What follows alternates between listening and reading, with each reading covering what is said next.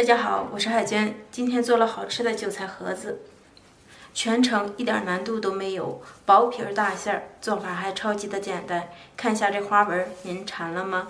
新手也能一次成功。首先，我们准备四百克的普通面粉，先用一百五十克的开水烫一部分面，边倒边搅拌，另一部分面倒入一百五十克的凉水，继续搅拌均匀。搅拌至基本没有干粉的面絮状，揉成面团。揉成团以后，我们直接移到案板上，然后把面揉匀。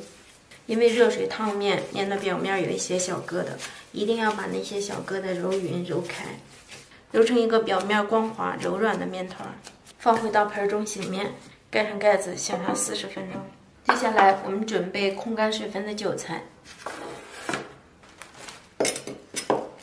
切成颗粒状。切好的韭菜放入大碗中，切好的韭菜中，我们倒入一些料油，锁住里面的水分，搅拌均匀。取出醒蒸好的面团，整理一下，搓成长条状，然后切成均等的面剂子。接下来，我们把切好的面剂给它稍微叠加一下，揉成圆形的面剂子。揉好面剂子，咱们再来调馅儿。炒好的鸡蛋碎晾凉，放在韭菜中，放入少许的胡椒粉，去一下鸡蛋的腥味儿。根据自己的口味加盐，搅拌均匀。喜欢吃香油口感的，可以放点香油。这里还可以掺点海鲜、虾皮之类的。家里有人不喜欢吃海鲜，所以我没放。接下来我们取过一份面剂子，直接压扁，然后擀开，最后擀成一个椭圆形的大面片，然后给它放上馅料，铺平，另一边面片对叠过来，然后给它压实压紧。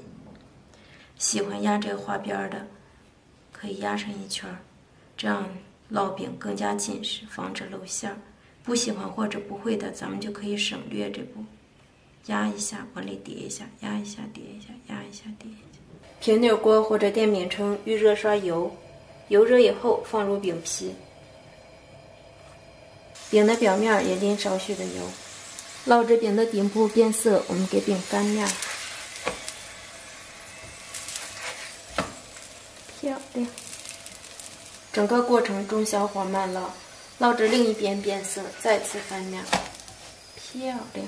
看一下饼鼓的高高的，证明已经熟透了。这时候可以出锅了。好吃的韭菜盒子就出锅了，咱们接下来切开一个，看一下里面的馅料，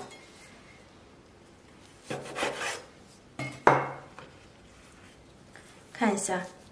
两面的皮儿厚一致，没有硬疙瘩，这样做出来的馅盒子，薄皮大馅又柔软，做法还超简单。